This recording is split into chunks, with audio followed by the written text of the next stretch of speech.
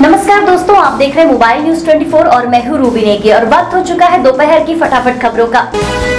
भारत के दो दिवसीय दौरे पर आई जर्मनी की चांसलर एंजला मर्केल ने आज दिल्ली में कहा कि हमने हरित शहरी गतिशीलता के लिए भारत जर्मन साझेदारी शुरू की है और हमने इस दिशा में एक बिलियन अमेरिकी डॉलर खर्च किए हैं।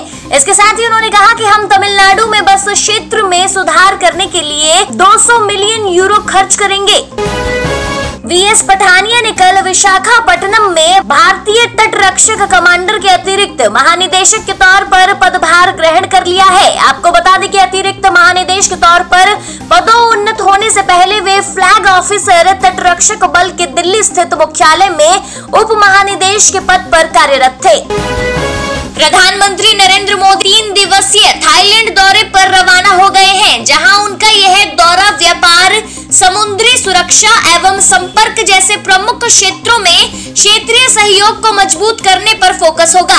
आपको बता दें कि इस दौरान वे आसियान, भारत, पूर्वी एशिया और आरसीईपी शिखर सम्मेलनों में हिस्सा लेंगे। करीब 1400 व्हाट्सएप यूज़र्स की जासूसी के मामले में व्हाट्सएप ने केंद्र सरकार को अपना जवाब भेज दिया है। इस विषय पर व्हाट्सएप प्रवक्ता ने कहा कि हमारी उच्च प्राथमिकता यूज़र्स की निजता और सुरक्षा है। मई में हमने सुरक्षा से जुड़ा मुद्दा सुलझा लिया था और भारतीय व अंतर्राष्ट्रीय सरकारों को इसके बारे में बता दिया था। गौरतलब है कि व्हाट्सएप यूज़र्स की जासूसी के मुद्दे पर इन दिनों चर्चाओं का दौर जारी है।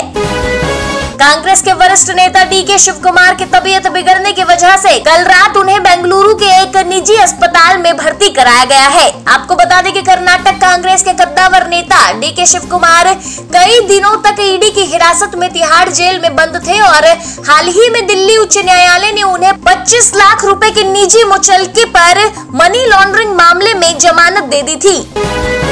झारखंड में चुनावों की तारीखों की घोषणा के साथ ही चुनाव आयोग ने 80 साल से ज़्यादा उम्र के बुज़ुर्गों को तोहफा दे दिया है, जिसके तहत वे डाक मत पत्र से घर बैठे मतदान कर सकेंगे। आपको बता दें कि बुज़ुर्गों के साथ यह सुविधा दिव्यांगों को भी दी गई है।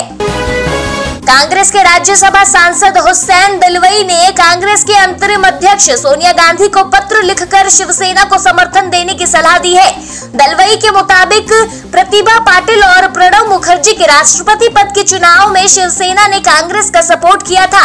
आज उसी तरह बीजेपी को सत्ता में बेदखल रखने के लिए कांग्रेस को शिवसेना का समर्थन करना चाहिए। गौरतलब है कि महाराष्ट्र में भाजपा और शिवसेना के बीच सीएम पद को लेकर कहा सुनी जारी है। भारत में बेरोजगारी के आंकड़े चौंकाने वाले हैं, क्योंकि अक्टूबर में बेरोजगारी की दर 8.5 फ़ीसदी हो गई है।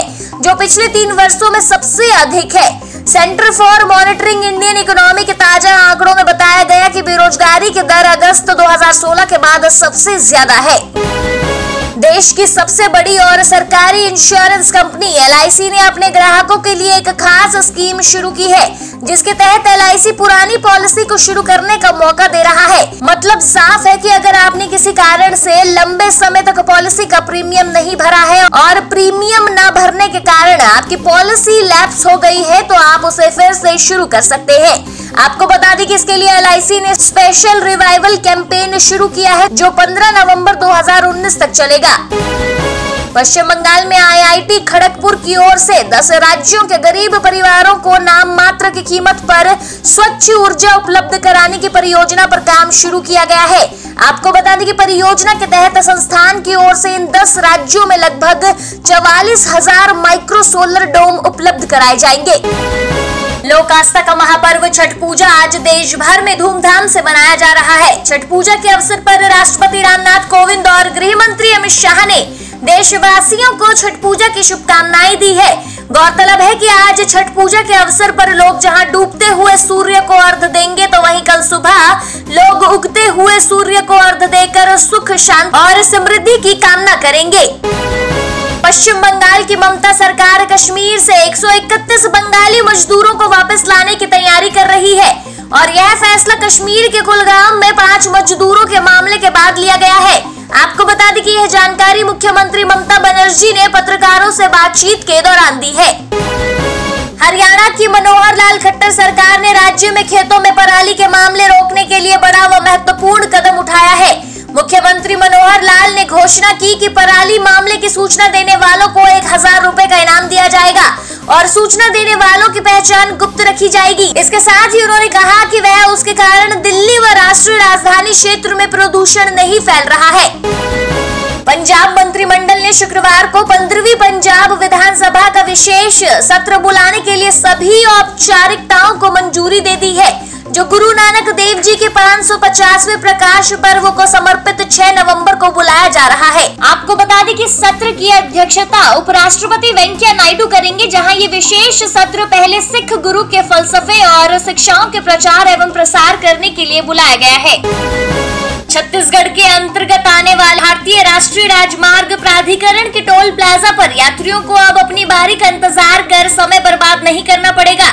दरअसल NHAI टोल प्लाजा को पूरी तरह से कैशलेस करने जा रहा है। जहाँ आज इसका ट्रायल होगा, आपको बता दें कि ट्रायल के बाद इसे एक दिसंबर से सभी टोल प्लाजा पर लागू कर दिया जाएगा।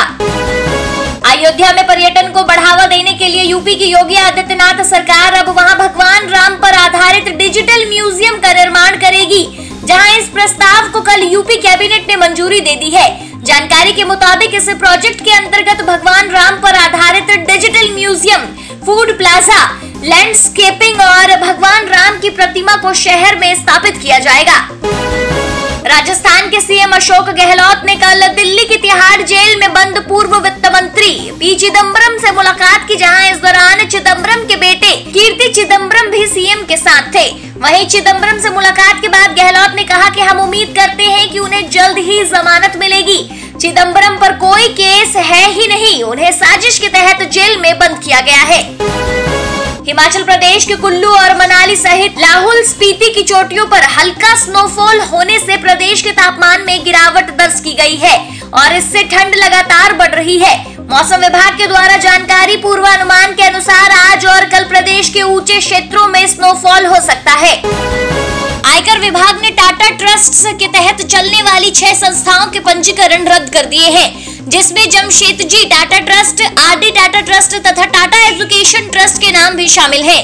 आपको बता दें कि इन संस्थाओं ने वर्ष 2015 में ही अपना पंजीकरण खत्म कराने और किसी तरह का आयकर छूट दावा नहीं करने का फैसला किया था बिहार की सबसे बड़ी डेयरी और सहकारी दुग्ध उत्पादक समिति सुधा ने आज लोक आस्था के महापर्व, छठ पूजा के दिन अपने उत्पादों की कीमतों में इजाफा किया है, जिसके तहत कम्फेड का सुधा दूध और उसके दुग्ध उत्पादों की कीमत में दो रूपए प्रति लीटर की बढ़ोतरी की गई है। आपको बता दें कि ये बढ़े हुए दाम आज से ही लागू होंगे। ये थी दोपहर की फटाफट खबरें और ऐसी ही खबरों से अपडेट रहने के लिए आप हमारे चैनल को अभी सब्सक्राइब कर लीजिए और साथ ही दिए गए नोटिफिकेशन बेल को भी दबा दीजिए ताकि आप भी रह सके ऐसी ही तमाम खबरों से अपडेट।